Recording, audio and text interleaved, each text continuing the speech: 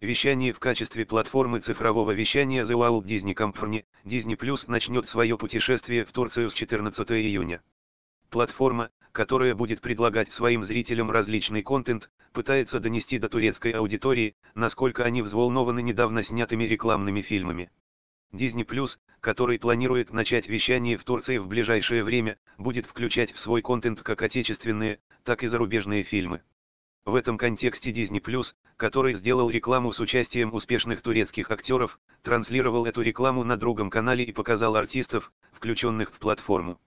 Платформа Disney объединившая успешных актеров от Араса Булута и Немлида Аслы Энвер, Халита Эргинча и Ханди Эрчил, Джана Ямана и Пенар Дениз, завоевала восхищение зрителей своим великолепным рекламным роликом. В своем путешествии с совершенно новыми историями платформа произвела большой фурор в социальных сетях своим рекламным видео с участием известных актеров в проектах, которые она скоро реализует.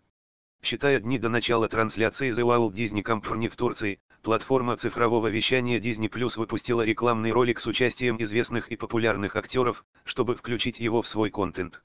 Арас Булут и Немли, Аслы Энвер, Бугра Гюльсей, Бурак Дениз, Джан Яман, Джан Судири, Димит Аздемир. Эда Эдже, Энгина Кюрик, Халит Эргинч, Ханди Эрчил, Пенар Денис и Тимучин Эсин сказали, что платформа совершенно новая. Он примет участие в проектах, которые вскоре оживут на пути к дате подписания. Они получат